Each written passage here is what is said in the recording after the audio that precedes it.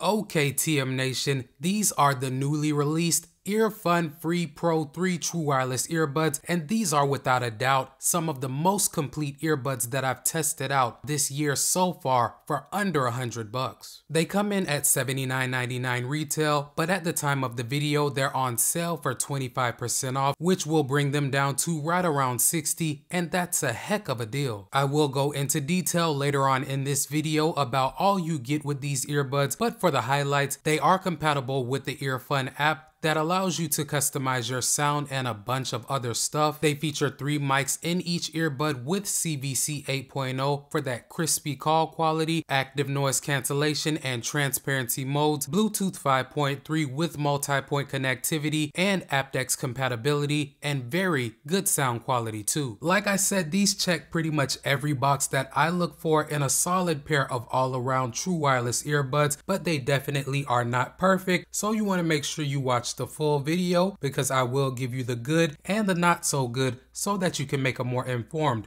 buying decision. As far as what you'll get inside of the box, you'll get pretty much your normal stuff to include your user manual and other documentation, a USB Type-C cable to charge the case, different sized ear tips and wings so that you can swap them out if you need to, and of course you'll get the case along with the earbuds. The design of the case is fine for me, there isn't too much going on on the outside besides your Earfun branding on the top, the LED indicator light in the front, and you have your USB Type-C port for charging in the back but I do like the fact that it's small and compact enough to throw in pretty much any sized pocket. It does support wireless charging, which is always a plus in my book, and it will charge the earbuds about three and a half times or so once they go dead. And on a single charge with the earbuds, if you use them without ANC, you can get up to seven and a half hours. If you use them with ANC, you'll get about six. As far as the design of the earbuds goes, I've always had good experiences across the Free Pro lineup, and these are no different. I do like the fact that they have ear wings and comfortable ear tips because not only do they fit securely in my ears, but I can wear them for hours at a time with no issues. These in particular hug my ears great during exercise. The seal is fine to maximize the amount of sound that is blocked out and ensure I'm hearing most of what's being played through the buds so I have no complaints with the fit. For exercise, I've been able to jump rope, walk, and jog using them without any issues whatsoever,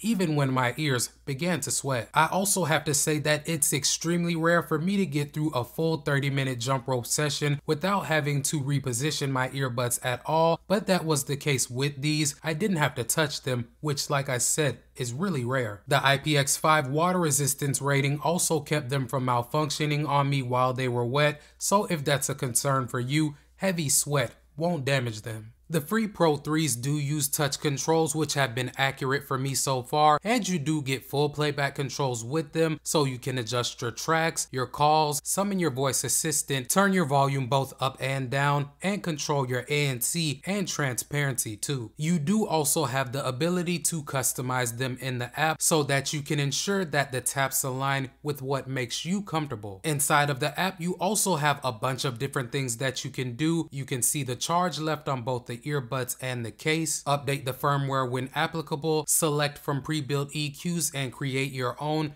access the user manual on the go, select your ANC and transparency mode settings, turn on or off the low latency gaming mode, find your earbuds if you misplaced them, and you can even disable all of your touch controls if you find yourself executing them by accident. Like I said, there's a bunch that you can do inside of it to make the experience that you get with the earbuds tailored to what you're looking for, which is always a plus. For the call quality, as I mentioned earlier, these do have a total of six mics and they utilize CVC 8.0 to help focus on your speech and reduce some of the noise going on around you. I did take samples for you guys just so that you can judge for yourselves.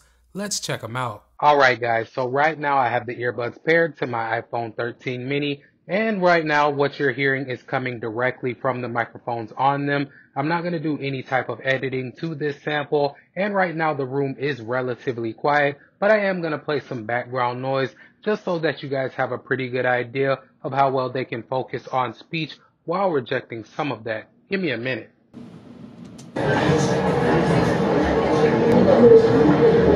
and I'll go ahead and start talking again. So again, this should give you a pretty good idea of how well these mics can focus on my speech while rejecting some of the noise going on around me. Now touching on the ANC performance, I did test them in a couple of different environments and they were impressive in this department, although I wouldn't say that they're top tier. Walking outside around my neighborhood wearing them, I would say that they reduced about 70% of the sounds going on around me to a level where they were either barely audible or canceled out. Now I was still able to hear sounds such as a louder car passing by me, the kids screaming and yelling, and some of the lawnmower noise going on around me, but pretty much everything else was drowned out. But I do want to mention that for those lingering sounds that were not completely drowned out, all that I had to do was crank my music up about 60% and I could no longer hear them. These do have a wind noise canceling setting inside of the app too, but I didn't see a huge difference when I toggled it on or off. The performance really was similar to my ears. But besides that, the transparency mode also did perform well during my testing, but much like the ANC, it's pretty much on or off. You don't have the ability to have it key in on voices or other sounds. I do like the way that it performed though because it sounds more like an amplified pass-through. It did not sound robotic or simulated like what I get with some other transparency earbuds, and I would say that it allowed me to hear what was going on around me within about a 4 to 5 foot radius, which I would say is decent to good performance in comparison to other transparency earbuds around this price point. Now moving on to the sound quality guys, I did go ahead and create my own custom EQ with these earbuds and they sound really good. However, if you don't like to play with the EQ bands, I would say that you either start with the rock or pop EQs as they both provide a really dynamic sound. With them tuned the way that I set them, the detail is very good as I can hear background instruments and vocals really well. The mids do come through clear as well, but just not as prominent as they were out of the box because I thought they were a little bit too forward and the bass is very impressive too. Now I did not remember my previous Earfun earbuds providing such a deep thump because it had been quite a while since I used them, but these have been a pleasant surprise as hip hop and R&B tracks that have bass lines that some other earbuds cannot pick up are easy to hear with these. The output is also good at about 75% of the max volume. I can usually keep them here and be satisfied without feeling the need to max them out. That being said guys, I really don't have any complaints about the sound signature I get with these earbuds. Yes, like most pairs around this price point, they don't do the best job with sound separation, especially if you go ahead and push them beyond 75% of the max volume. But in my experience, as long as you keep them between 50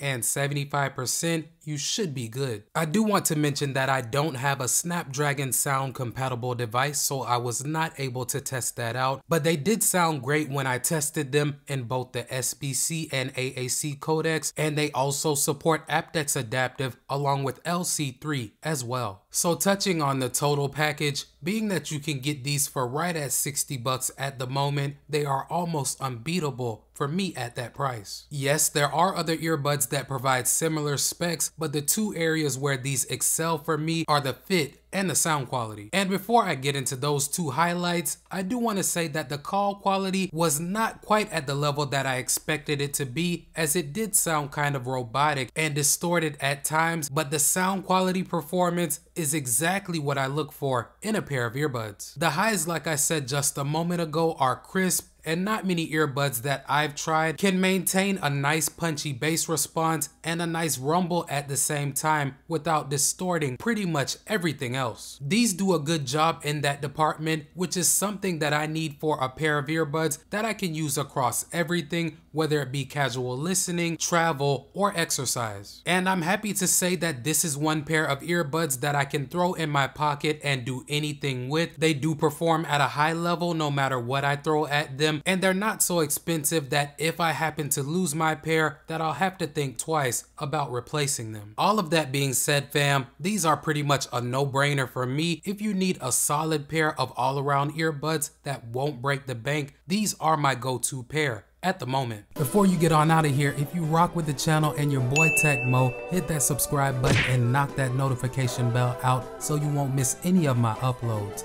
Welcome to TM Nation. Peace.